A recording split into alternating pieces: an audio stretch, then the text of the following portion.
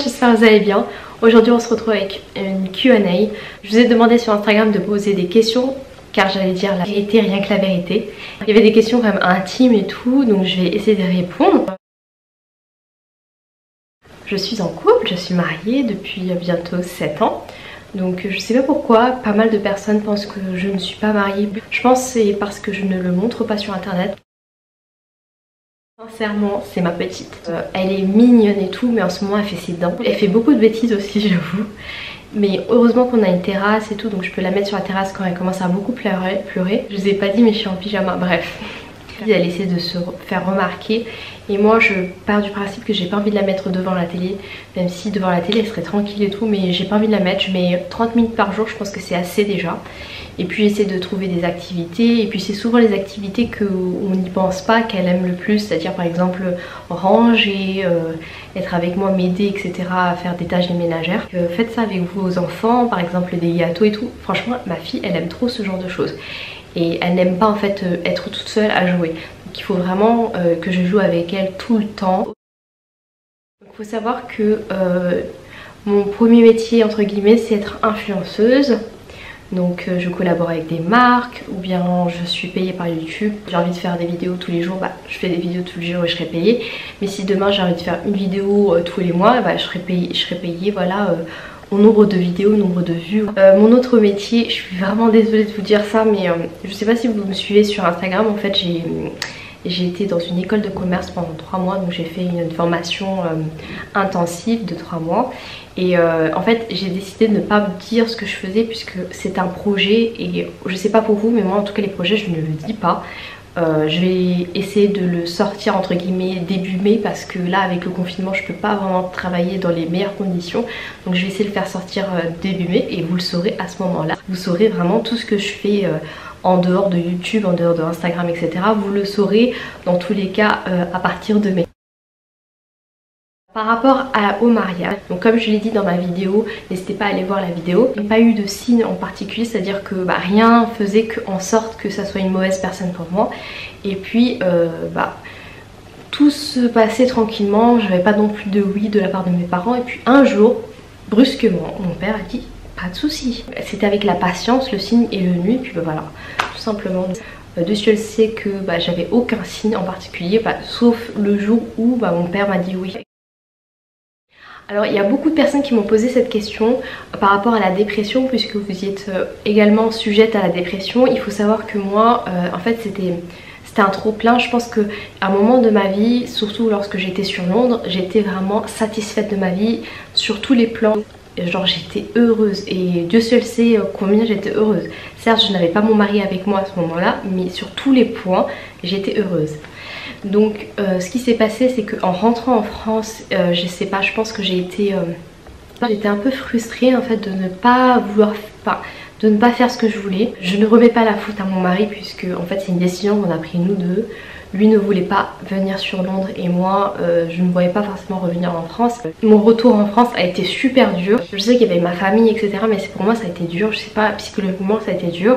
Le fait de re-rentrer dans le marché du travail également après avoir eu mon diplôme donc mon master j'ai été... Euh, en fait c'est pas du tout le même marché euh, du travail en Angleterre et en France savoir qu'en Angleterre vous pouvez trouver un travail mais en deux clics sachant que moi j'étais influenceuse donc euh, je, en fait j'avais juste un mail à envoyer et j'avais un travail. Une mentalité en France qui fait que je n'aime pas du tout c'est qu'on te juge par rapport à ce que tu fais et donc je ne dis jamais ce que je fais. Vraiment ça a été... Euh, les gens voient mes vidéos etc. Mais par exemple quand je sors avec des gens ou enfin, je rencontre quelqu'un je vais pas dire ah bah je suis influenceuse. Je dis je suis, je, suis maman à la maison, voilà, euh, je fais rien de ma life. Je pense ma vie elle était très bien. Puis quand je suis revenue j'étais j'étais dégoûtée, j'avais pas trouvé de travail, j'étais renfermée, je faisais que pleurer.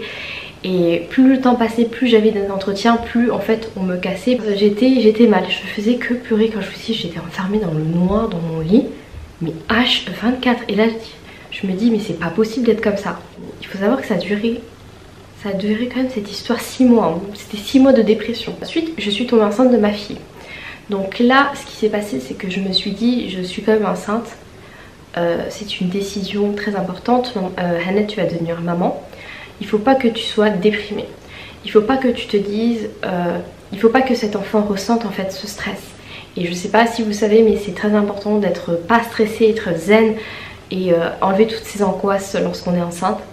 Sachant qu'avant j'étais sujette aux crises d'angoisse, c'est-à-dire que pendant ma dépression je faisais que des grosses crises d'angoisse. C'est-à-dire que j'arrivais plus à respirer tellement je, je pensais à un truc et j'arrivais plus à respirer. Euh, et ce qui s'est passé c'est que bah, je passe, ma grossesse en fait ça a été, je sais pas si c'est pour ça que je l'ai mal vécu, mais c'était une parenthèse. J'étais un peu déprimée mais en même temps j'avais hâte d'avoir cet enfant. Enfin c'était un peu bizarre, je vous avoue j'étais dans un mood chelou. Euh, mais j'étais quand même contente d'être enceinte, j'étais contente euh, de la nouvelle vie en fait que j'allais mener. Maman c'est une responsabilité. Une fois que j'ai accouché que je m'en suis sortie je pense. Parce que je me disais mais en fait euh, cette dépression c'est de la merde. il faut vraiment que t'ailles cette nouvelle vie, t'as cette chance. Et franchement j'étais émerveillée par le fait d'être maman, d'être de cette petite qui était tellement toute petite et tout. De la grandeur de Dieu dans le sens où bah, il m'a offert ce cadeau. Fait, il y a beaucoup de personnes qui ne comprennent pas pourquoi je ne souhaite pas dire le nom de, ma fille sur internet. Simplement parce que moi je suis pas H24 avec elle. Elle est avec son assistante maternelle. Elle est souvent dehors.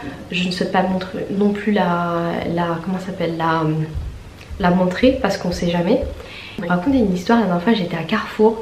Il y a une petite qui a dit Ah c'est la maman de hum, hum, hum, son prénom. Mais je me suis retournée comme ça. On parle de ma fille. Je suis très... Euh, protectrice. J'ai envie de garder euh, cette part de secret en tout cas sur internet parce que je pense qu'il faut pas tout dire non plus sur internet. J'ai partagé pas mal de choses avec vous mais ce petit, ce petit secret ce restera un petit secret.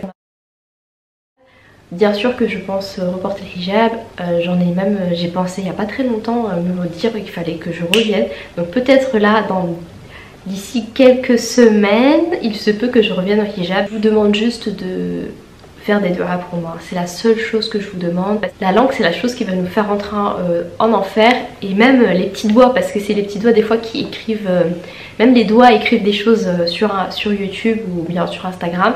Donc n'hésitez pas à vous remettre en Dieu. Il se peut que demain ça soit vous donc s'il vous plaît faites juste des doigts. Je vous dis la vérité, hein, ma fille dort avec moi, elle dort entre nous deux. elle se sent très bien comme ça. Euh, elle dort très bien, sachant qu'avant elle, se levait au moins 3-4 fois dans la nuit. On ne trouve pas euh, ça gênant. Après peut-être que d'ici 3 mois elle va rentrer dans son lit euh, et tout mais bon ça sera une, ça sera une épreuve et je documenterai la chose mais pour l'instant nous on est bien comme on est. J'avais fait la méthode chrono donc 1, 3, 5 ou même à 5, 10, 15. J'ai fait cette méthode là et ça n'a pas marché chez nous. Elle a pleuré pendant une heure et demie dans son lit. Elle avait de la mort mais elle était trempée et puis elle a vomi dans son lit. Et à ce moment là en fait j'étais coupable. Je me sentais vraiment coupable dans le sens où je me disais bah, ma fille elle, elle, est triste à cause de moi en fait. Et à partir de ce moment là elle est, dans notre lit. Donc là ça va faire trois mois. En fait, moi je pense euh, à mes arrières, c'est à dire que là je vais sortir un nouveau projet Inch'Allah. Et je pense pas que je vais être sur YouTube trop trop trop longtemps. J'espère enfin du moins rester le plus longtemps possible sur youtube. Mais j'ai l'impression que la plateforme elle commence à virer en fait. Je sais pas si vous voyez ce que je veux dire. En ce moment il y a tiktok qui est sorti donc euh, tiktok tout le monde est à fond dedans. Donc vous voyez les plateformes ça change. Il y a une mode etc donc euh, je sais pas si je vais rester sur youtube en tout cas on verra. Cette question c'est chaud Bien sûr que la vie intime d'un couple change. J'ai deux avant, là vous êtes trois ou quatre, ça dépend si vous avez des jumeaux, triplés, etc. Mais en tout cas, euh, vous, la, vie va changer, ça c'est sûr et certain. Mais là, avec la petite, c'est un nouveau rythme. Donc là, ça fait 16 mois qu'elle est, est avec nous. Donc euh, on essaie quand même de trouver le temps de de se voir par exemple le soir, une fois que la petite elle est couchée, que ça soit comme un, petit moment à nous, enfin une heure ou deux, parce que moi je peux pas non plus dormir à minuit, mais vraiment une heure ou deux, je regarde un film, regarder l'actualité, parler, enfin voilà, être ensemble en fait, sans enfant entre guillemets, même si la petite adore, mais oui, sans enfant finalement. Euh, que ça soit un peu comme avant. Après avec un bébé bébé, c'est tout à fait logique que les débuts sont durs, mais une fois que l'enfant est un peu plus grand, c'est plus facile. Donc ma petite, elle est somalienne, française, tout simplement. Donc j'espère que cette vidéo vous plaira. N'hésitez pas à me dire en commentaire vos autres questions si vous avez d'autres questions et j'y répondrai sur Donc j'espère que cette vidéo vous a plu. Si cette vidéo vous a plu, n'hésitez pas à mettre un like pour me soutenir et à vous abonner également et à cliquer sur la petite cloche pour être notifié de mes prochaines vidéos. Je vous souhaite une très très bonne journée. Bye